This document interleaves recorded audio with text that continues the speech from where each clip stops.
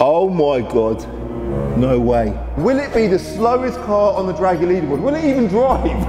Is it even going to drive? I don't know. This is a super rare car, isn't it? Super rare. Can you buy a car with less than 20,000 miles for less than a thousand pounds? I don't think that's possible. I don't actually think that's possible. But I have just had quite an interesting message from one of my followers on Instagram who said, Calvin, I've got a Rover 45. It was my granddad's car. He sadly passed away. And it's only done 15,000 miles. He's saying that we buying a car, I've offered him 1,300 quid for it, which is makes the challenge a little bit difficult. If it's not less than a grand, I can't buy it. I'm gonna have to buy something else. But this seems like a proper cool car. Good mileage, one owner from you, and it's a V6. Surely we can get a deal done. Let's just hope for the best. I'm gonna give him a call. We're getting get on with a little intro because my office and that. Do a little cinematic intro, and then I'm gonna give James a call and hopefully get a deal done.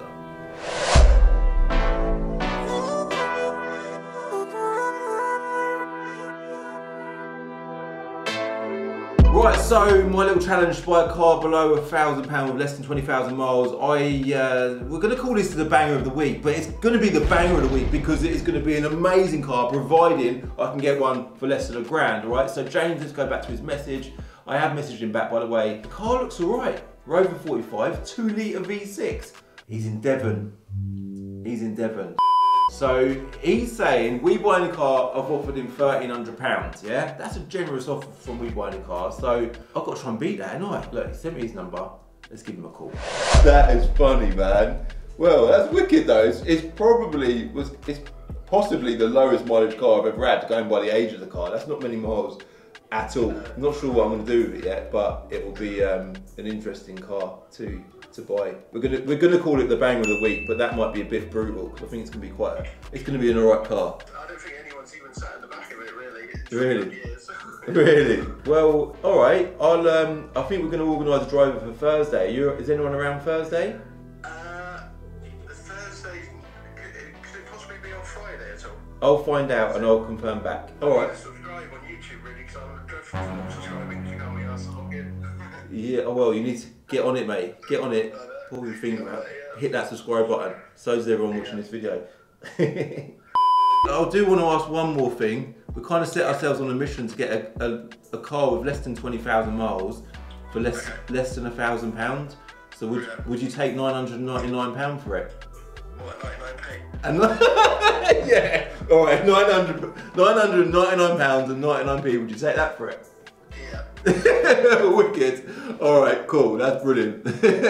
so, job done. Nine hundred ninety-nine pounds and ninety-nine pence. That does literally make it less than a thousand pounds. Obviously, we've not seen it yet. It's probably a bit crazy buying a car unseen. I wouldn't recommend doing that, but you can do all your checks beforehand and sort of hope for the best. I'm gonna send the driver there. We're gonna get it back and just hope that when it arrives, it's a decent car. I'm actually quite interested or excited. Is that is excited? Excited is probably the wrong use word intrigued to drive a 2 litre V6 20 year old Rover with 15,000 miles. We'll also get it in for an MOT in this video and see if it passes. What do you reckon? Is it going to pass? No idea. We'll fast forward to a few days when it arrives.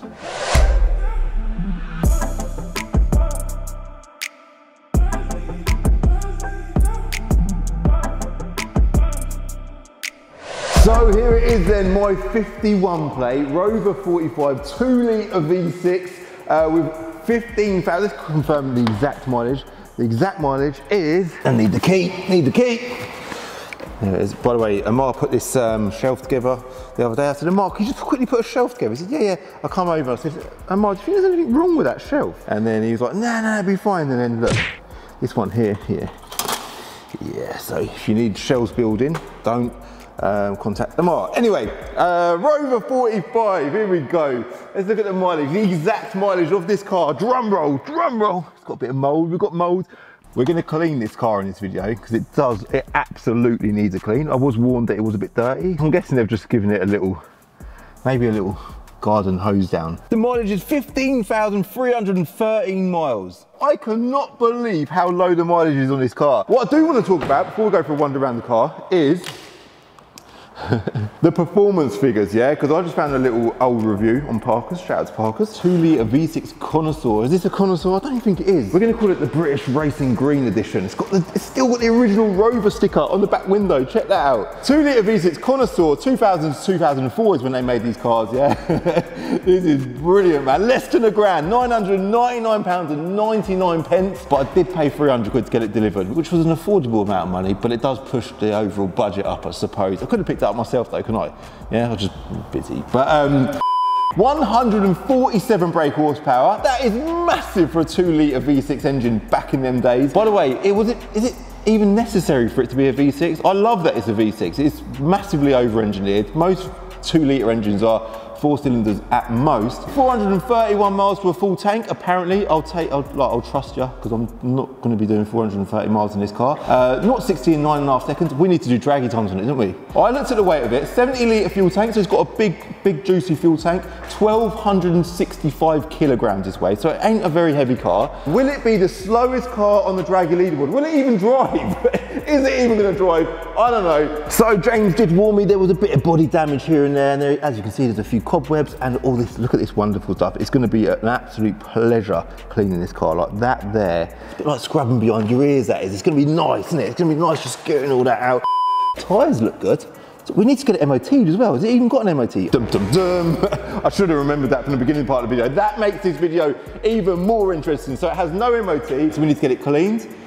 We need to get it MOT to see if it passes, and we need to go for a very, very quick drive in it to see if it does, um, see if we can do Dragy time see how well it performs. I'm gonna do it elegantly though, yeah, because James has also messaged me to say his nan's gonna be watching this from her care home, and I wanna make Nan proud, James, yeah? I want her to be proud of the car. This sort of stuff is cool, man, all right? So we're gonna do it elegantly, that's what I'm saying. 20 to 70 mile an hour Dragy times, and we're gonna try not to break the car, right? I don't think it's gonna break because I reckon it's a good car. When I think of old Rovers, I think of head gaskets. That's exactly what I think of. So when I consider that this car could be absolutely fine, wow. Oh my God, no way. Bloody mint, mate. It is mint. I'm gonna show you the service history in a sec as well. The service history on this car is unbelievable. So I'll show you that shortly. Dipstick, not me, not this thing here. I mean, yeah, there's oil in there. There is oil in there, which is good. That's the correct place for oil to be. Look at it, yeah. Lovely jubbly. Right, so, do you know what's frustrating about this car? Well, not this car actually, this video. Is This video probably won't get a crazy amount of views, but it deserves views, man. This is a gem, isn't it? This is an absolute gem. And you know what? The story of this car, the fact that James's grandparents have run around in this for so long, it deserves views, man. It deserves exposure. So, if you're, um, you know, you're in a WhatsApp group or you're on Facebook or you you got Instagram, just give it a little share, man. Tell tell everyone to come and admire the British Racing Green Rover 45. Tell them it's a V6 as well because they'll be proper excited about that bit, yeah. Just do that, do it for the Rover. Continue having a wander around. Like, this is original factory spec. It's got the original wheels, 16 inch alloy wheels, alloy as well, chrome mirrors. Like, Audi must have jumped onto that that wave back then, because that is like an Audi thing, but it ain't an Audi thing, Audi, because you must have copied Rover. Let me just show you the service book. Let me show you the service book. So look, big 45 on the front, no former keepers, zero. The previous register keeper, none.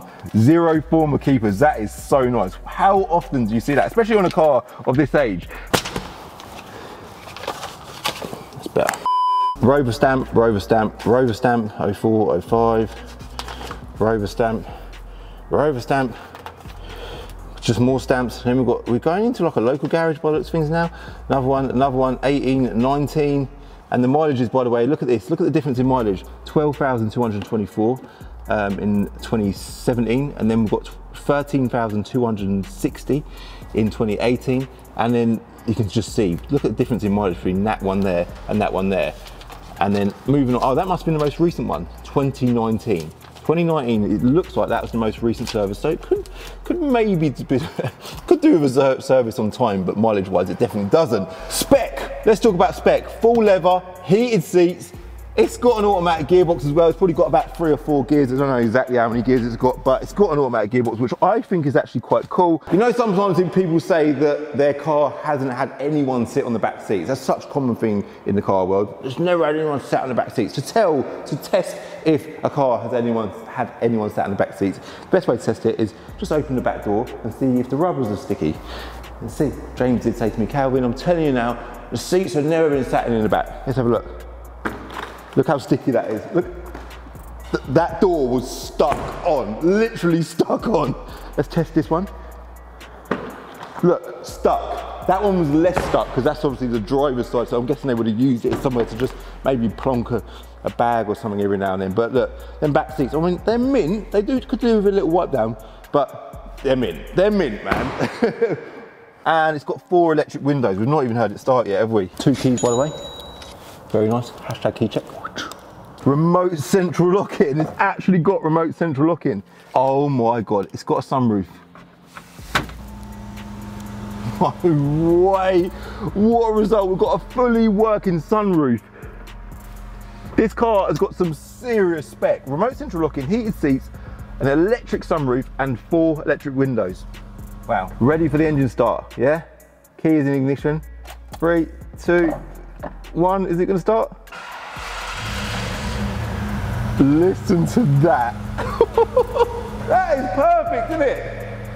Wow, so I think what we're gonna do now is we're gonna cut to, we've got an ABS light on the dash, so that's probably gonna cause us an issue on the MOT. Will it fail on that? Should fail on that, we'll soon find out. Anything else I wanna report? It's got a tape cassette radio, AC, it's got aircon. No way has this car got aircon. It doesn't look like it's, um, the head gasket's gone. It does start, the battery's got life in it, which I'm quite impressed about. It's even got fuel in it. I think now what we need to do is cut to a cinematic scene of the car being cleaned, and then we're going to take, take it for a little drive and do Dragy times in it.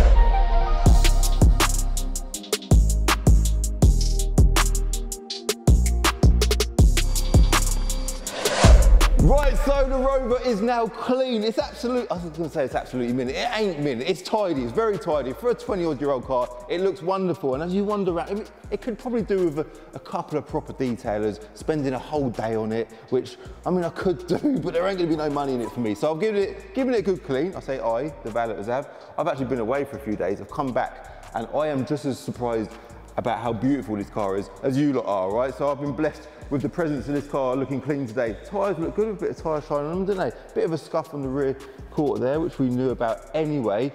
Um, but I am really impressed with it. Something else, um, I, when I arrived back yesterday, coming to post, is uh, James actually sent me another key. So I think we've got three keys and three fobs in total, which is quite impressive. And we've got service vouchers from back in 2001 which is quite impressive. Yeah, proper Rover MG stuff, yeah. Something else that I just thought was quite interesting about this car is the plate, because back when this plate, or this year in 2001, the plate prefixes changed. It went from A to Y and ended on Y. And then the last one before this was obviously Y reg. And then 2001, halfway through, they created the new 51 prefix. So It went 51, 02, 52. That was quite a big talking point in the car world. So anyway, what I want to do now is I'm going to put up the Dragy leaderboard and I want to do a 20 to 70 mile an hour Dragy test in this car, to see if it's the slowest car on the Dragy leaderboard. Now currently the slowest car on Dragy leaderboard is a 52 paper Passat with 110 brake horsepower. That done it in 14.37 seconds. Now I feel like this is going to be quicker than that. Do you reckon this is going to be quicker or slower? What do you reckon? We're going to find out shortly. Something else I want to do, because it's a, a luxurious Rover, we're going to hit the bumpy road, yeah, and see how well it performs, how well it floats over them bumps. So I think it's going to deal with it really well. By the way, the Passat video, if you didn't see that, we actually compared a range test on an old 1.9 diesel Passat, compare it, compared it to a Tesla. Which car do you think done more miles out of 20 quid's worth of charge or diesel? Other way around. Go and check it out, all right? Um, let's get started and hit Dragy times, yeah?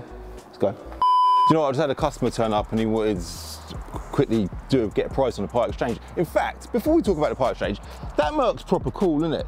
That's a proper cool car. It's a 1.6 petrol, I think. I took it home the other day. It's um, very slow, but it looks the part. Them wheels look wicked. Boston wheels, yeah, on it. Very nice. But yeah, customers just turned up. He's buying a Transit. He wants to part old caddy van. I thought I'd include it in this video. It's probably gonna be a very long video because this caddy van is special. It's very special. Come and have a little look at it. Here she is. 56 plate caddy van, covered in rust. I think this is the good side. This is its good side. Come and look at the bad side. There it is. It's got an odd wheel. It's got rust everywhere. It's got some kind of, what wheels are they? Are they Passat wheels? I recognise them wheels from somewhere. And then on the inside, filthy dirty. How much do you reckon I paid for it? Come around to the driver's side, come round to the driver's side because you ain't seen the golden piece. Oh, hold on, mirror's broken. I think both mirrors are broken. Yeah, both mirrors are broken. Audi S3 seats. It's even got a headrest delete on the passenger side as well. So yeah, do you think this is worth more or less than a Rover? That's the big question. I'll tell you how much I paid for it. I paid 500 pounds. In fact, no, I paid a little bit less than that, about 448 quid because it worked out as part of the deal. Bargain, it's done 140,000 miles. Anyway, let's jump in the Rover and go and see how slow it does 20 to 70 mile an hour.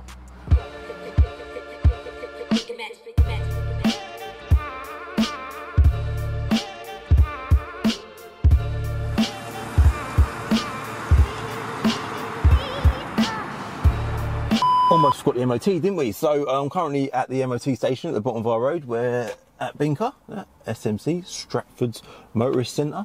Um, I reckon it's going to pass. I actually think it's going to pass. I've just drove it for like a couple of hundred yards from the end of the road to here. It drives all right, um, but we shall soon find out. Ready? Three, two, one.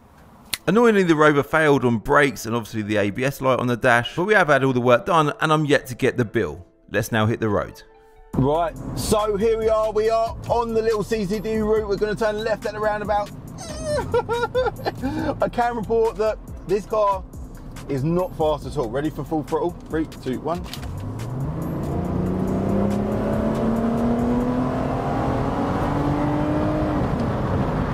I know it's very difficult for you to sort of feel the speed of a car through a camera, but trust me, this thing is not quick at all. So it does have an automatic gearbox, so it's got a bit of a benefit over the Passat, because uh, the Passat was a manual, so it might do that. I don't know, I don't know, but um, yeah, it's slow. But one thing I can say is this thing is absolutely mint, man. You look at the dials, they are mint. You look at the steering wheel, it is mint. The leather even feels fresh. I'm like slipping through that leather like nothing, mate. Round the uh, little S bend here, the famous S bend, it's handling all right. You know, it's floating around the bends like you'd kind of expect it would. and uh, let's quickly cut to the bumpy road. And that's it. We are here now. Indicator on. Turning right onto the bumpy road in the floaty rover. Here we go. The awful bumpy road. Look. Just doing that lovely, mate. Proper, proper nice. Now the big question is, can we do Dragy times without it overheating? Because that's what I've had on my mind the whole time driving down here. So um, there's only one way to find out. Let's now do Dragy times. Three, two, one. Come on! We're gonna do three runs. Gearbox is lovely. Gearbox is absolutely spot on. Waiting. Any second now.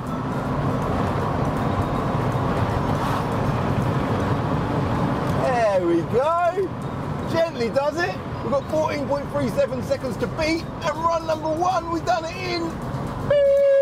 So, let's put, a, put my foot down again, just have a feel for that power. Feel that power, man. So, we did do Dragy times. We normally do three runs. But on this occasion, we only done two. Okay, the reason for that, simple reason for that, is we basically we run out of roads. we run out of roads. So uh, I've done two runs, and I was actually quite happy with the two runs that we've done. So it was 14.37 seconds to to beat. We, we had to get quicker than 14.37 to beat the uh, Passat. And run number one, we've done it in 13. Point, quickly look, 13.89 seconds. So this is quicker than a 110 horsepower manual gearbox Passat, yeah? Then we've done a second run, and the next car in line was the Audi A3 diesel. Modern car, man. Surely we can't beat a 1.6 litre turbocharged diesel Audi.